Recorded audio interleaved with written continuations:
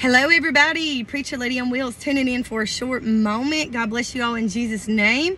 I was reading the book of Acts, chapter 2, verse 38. It says, Then Peter said unto them, repent. We're going to have to ask God for forgiveness. Come to Him, say, Lord, um, I may not know everything that I need to know, but Lord, where I'm at today, Lord, I want to repent of my sins. And I want to say, God, forgive me, Lord. Lord, help me do better than I've ever done. Lord, help me be better than I was yesterday, God, for your glory. And then it says to be baptized, every one of you, in the name of Jesus Christ for the remission of sin. So you've got to be baptized in the name of Jesus Christ. There's no other name. I don't care where you at where you from? But it says the name of Jesus Christ for the remission of sins, and you shall receive the gift of the Holy Ghost for the promises unto you, to your children, and to though and to all that are afar off, even as many as the Lord our God shall call. Hallelujah. So we're gonna have to repent of our sins. We're gonna have to be baptized in Jesus' name. And it says, You shall receive the gift of the Holy Ghost. That's something that God gives you. It's a gift. It's one of the first gifts that you get whenever you become a Christian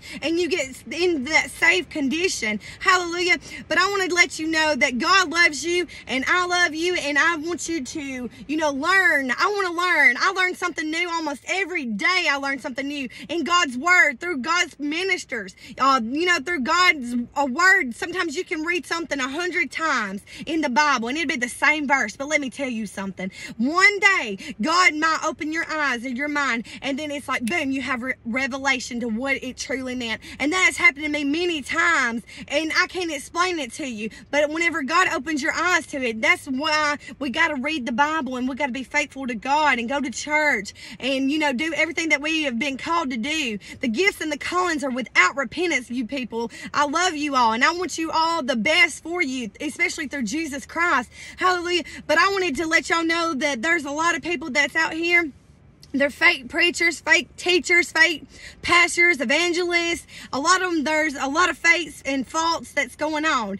There's a lot of false baptism going on. Let me tell you, I've seen this thing on uh, the Facebook and it said that uh, there was a uh, satanic rally going on and these people were paying $10 to get unbaptized they was getting a upside down cross on their forehead and then they would say hell satan if y'all don't know that I'm telling you, Time is winding up, people. If there's ever a time to be trying to live right and do right and get your life right with God, today is the day. And we've got to pick each and every day. You can't just serve Him one day and one day you don't. It says, choose this day whom you may serve. And you got to get up and say, God, I choose you. Each and every day, get up and say, God, I choose you. Lord, I choose you. And His name is Jesus. Praise God. Hallelujah. And also, there's other people, they've been baptized in the Father, the Son, and the Holy Spirit and all this stuff. But let me tell you, Acts chapter 2, verse 38 says, baptized in the name of Jesus Christ for the remission of your sins.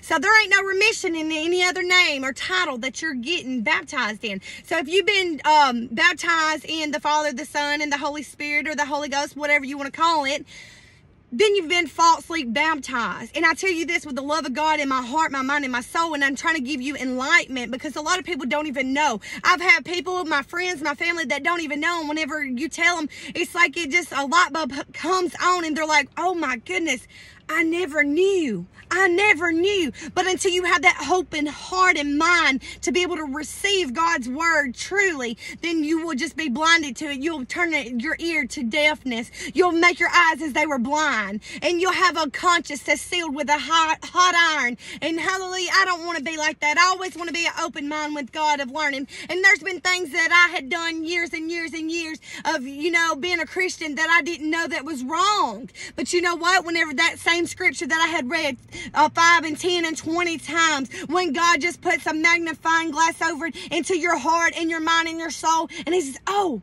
wow, he illuminates it to what, hey, that's what that meant. And then you stop doing whatever God has showed you that is a sin because you've got to realize when God is speaking to you and he speaks a lot through, um, to you through prayer and fasting and also through the word of God by reading it. Hallelujah. And there's no other thing that I would rather do right now than just be serving God with all my heart, my mind, and my soul. I'm telling you, I have never had a walk with God like I have now. Now. And I plan to continue to grow in Him. Hallelujah. It's been a wonderful thing growing in God. Um, also, I seen this thing. One of my sisters in the Lord had posted a, uh, shared a post on Facebook, and it was so true. So I wanted to spread the word on out to people. If you were to write a check and it said to the Father, the Son, and the husband, okay, well, it says on here that, sorry, your check is declined due to incorrectness of the name. I cannot go. Use me as an example. If someone wrote me a $100,000 check and they wrote daughter, mother, wife, they're going to tell me, I'm sorry, I don't know who you are.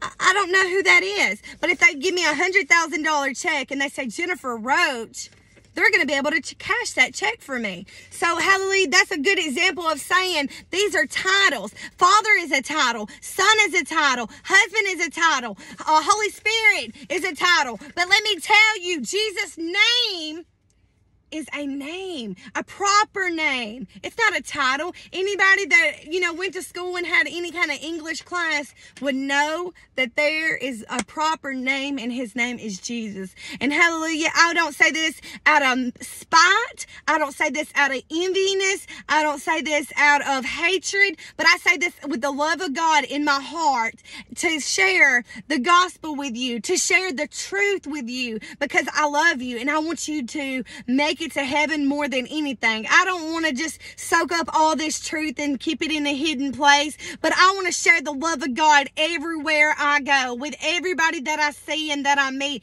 I want to share the light of Jesus. He said, I was the light of the world, but now ye are the light of the world. So we need to be going into the world and we need to be, you know, sharing the love of God and the light of God into each and everybody's life. And most of all, the true word of God into everybody's life.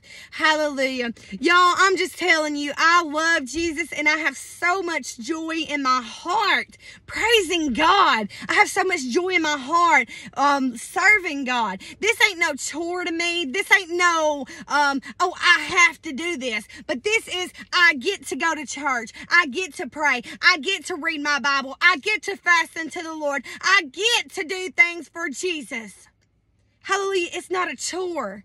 It's not I have to, but it's I get to. I want to. I want to grow in God. Not I have to, but I want to grow in God's spirit. I want to share the love of God. I want to do anything and everything that God has called me to be. And I want to do it by bringing each and every one of y'all along the way with me. Hallelujah. You know, God don't just set somebody into a, you know, I call it like a position or into an, a like an anointing of God just to shut them up and keep them bound. But you know what? Whenever He anoints someone and He calls them into the ministry, then that's whenever He can use them. He's not going to shut them down, but He's going to put them into a place where they can share whatever that He needs them to share.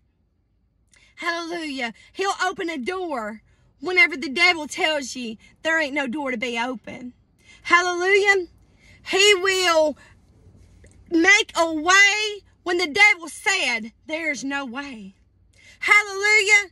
He will gift you. He will anoint you. He will set you on fire. He will do all sorts of things if you will just obey. He said, if you love me, keep my commandments. Hallelujah. A lot of people say they love Jesus, but loving him is serving him, and serving him is loving him, obeying his wonderful word. If it says do it, let's do it. If it says don't do it, let's just get it out of our lives all the way top to bottom. Let's be holy. He said, oh, be ye holy for I am holy. Hallelujah. And I love this word of God. I tell God, I say, God, write your word on the fleshly tables of my heart. That way I will not sin against you. And that way I can share the love of God and the word of God with the people, everybody that I meet and everybody that I can, Lord, that everybody that needs it, God. And the glory goes to you, Jesus. You know what? This I want to mention that one time. Uh, one more time I want to mention it. That's where ministers and preachers and evangelists and all these other people they get mixed up. Whenever God starts moving, instead of saying, Praise God, thank you, Jesus. They start lifting up their own self, their flesh. Well, I done this and I done that. No, you didn't do nothing. But my Jesus done it. My Jesus is the one that healed the sick. My Jesus is the one that saved the people that were out there lost. My Jesus is the one. Don't ever take credit from God or you will go wrong. I mean that with the sincerity of my heart and mind and soul today. Hallelujah. If you've been called and ordained and you are out here preaching the word of God, are you out here sharing the love of God with people, just know to always say, that was Jesus that done that. And we're praising Jesus for whatever he done and everything that he done. Because the moment that you start taking credibility for what God has done, you're going to be in a real messed up situation because you have become false and a lie and you've took the glory from our God. But hallelujah, I don't know where all this has come from, but I just felt whenever God says open your mouth and I will fill it, I'm going to speak what God wants me to speak. Whether the world wants to hear it or not, we've got to share it for the ones that do want to hear it. Hallelujah. Well, y'all, it's been wonderful. I always love coming on here and sharing the love of God, the word of God with y'all. And it's no other place I'd rather be than to be in the arms of God and doing the will of my Father in heaven, and his name is Jesus.